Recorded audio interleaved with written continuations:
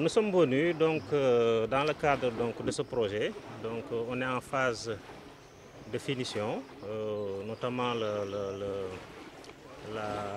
financement de la Banque mondiale, qui est notre principal partenaire. Rappelez que quand même le PAS, c'est un projet qui a démarré depuis 2011 ou 2012, donc qui a quand même duré près de 10 ans. Donc c'est un, un, projet programme de plus de 150 milliards. Donc la, la majeure partie, les 60% ont été financés par la Banque mondiale. Donc là, on en était à la phase 2, donc depuis 2016.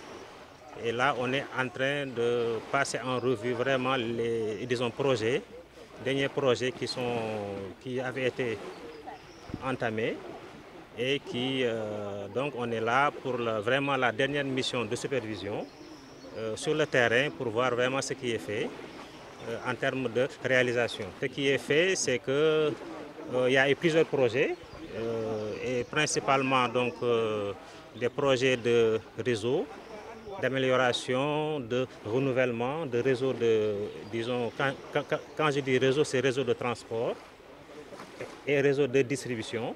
Donc on a, Sénélec a cherché donc, à améliorer son réseau. Notamment, il y avait beaucoup de, disons, ce, qu'on appelle techniquement des réseaux non interconnectés, qui quand même euh, du point de vue charge d'exploitation sont assez chers, qui coûtent euh, très cher à la Sénélec. Ensuite, euh, du point de vue qualité de service et continuité de service, ces réseaux non interconnectés, disons, posaient problème. Parce qu'il y avait beaucoup de zones qui avaient du courant, peut-être quelques heures par jour.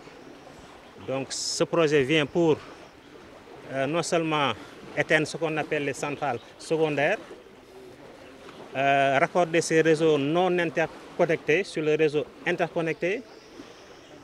Toutes ces zones qui étaient alimentées euh, temporairement dans la journée euh, auront maintenant du courant 24 heures sur 24 et avec une très bonne qualité de service.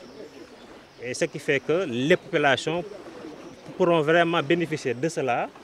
Nous allons non seulement améliorer la qualité, euh, beaucoup de quartiers, beaucoup de zones qui n'étaient pas alimentées le seront maintenant. Et ça va faire que la population va vraiment jouir de cela.